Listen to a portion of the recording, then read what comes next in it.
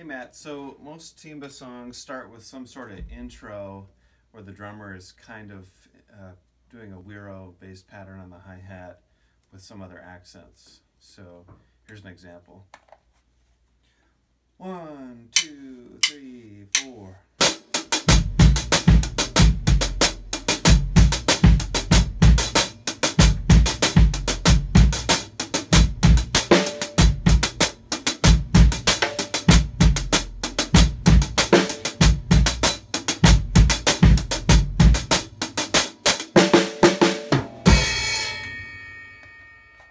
So that's sort of like what I would call the sort of the intro pattern, most basic intro pattern.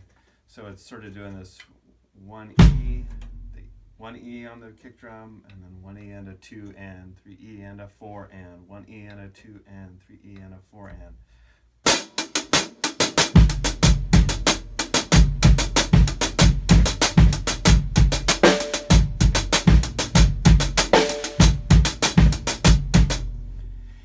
And um, so that's pattern one.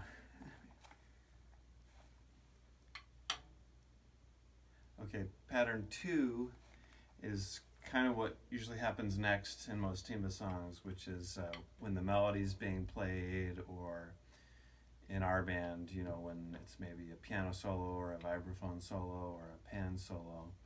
Um, it's what the patterns are what's called um, marcha abajo. That's what they call it. So it's usually a cascara based pattern, you know, maybe on the hi hat, and just sort of some accents on the kick drum and the snare. So I'll play kind of a slow example of that. One, two, three, four.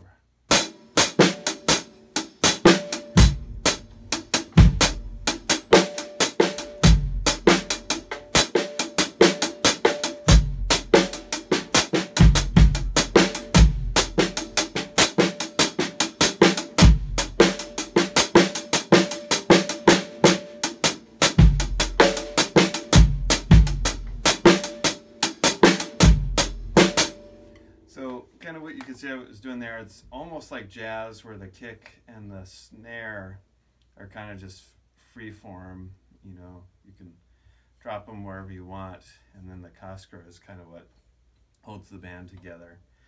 Um, but probably the most basic version, if you just want a clear place to start, would be to do the bombo tumbao on the kick drum and pretty much leave it at that.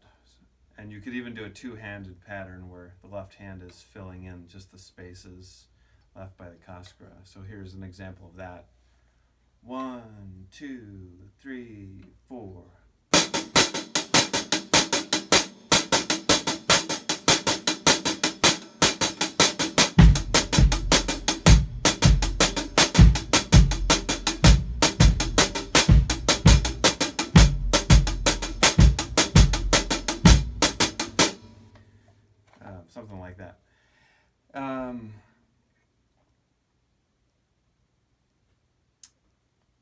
It's oh, it, probably pattern number three would be also a marcha abajo.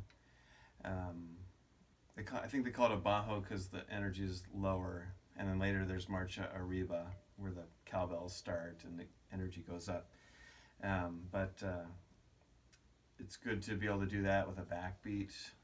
So one, two, three, four.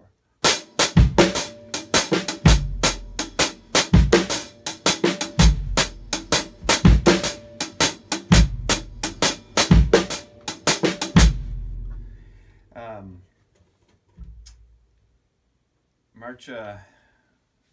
So now let's go on to Marcha Arriba, which is usually when there's a chorus happening. So in our band, it's when the vibraphone and the pan, or just the pan, is playing.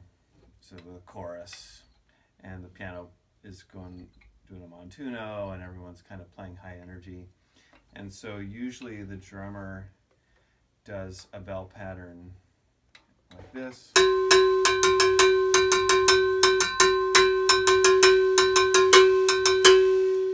And uh, the hi-hat should be doing four on the floor, so.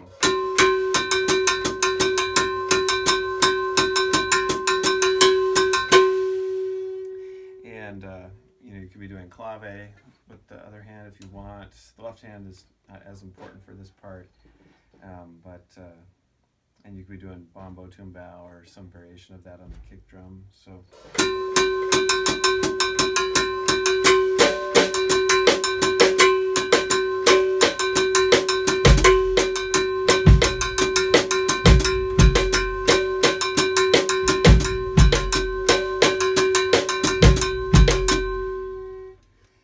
But the most important thing is the four on the floor, hi-hat, and the bell pattern, and everything else is just sort of discretionary and extra. Um, and then, uh, usually at some point in the song, there's, there's what's called a breakdown, where the bass stops playing a bass line and starts thumping and sliding and really making a lot of noise that way. And that's where the ride cymbal usually comes in for the drum set. So there'd be four on the floor with the hi-hat and the güiro ride pattern on the uh, ride cymbal, and then the other two limbs are doing just all kinds of crazy stuff as you get more advanced. So I'll demonstrate a real basic pattern, and then I'll get more advanced. So one, two, three, four.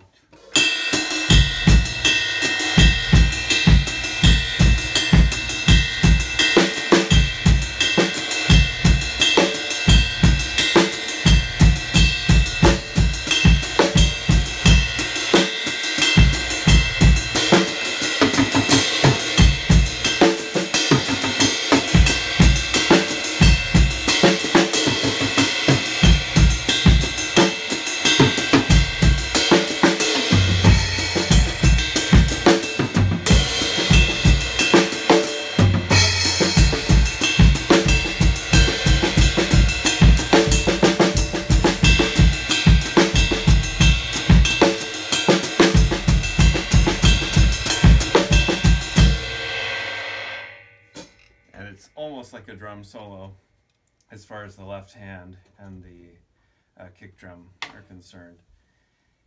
And that's pretty much it. That'll get you through pretty much every timba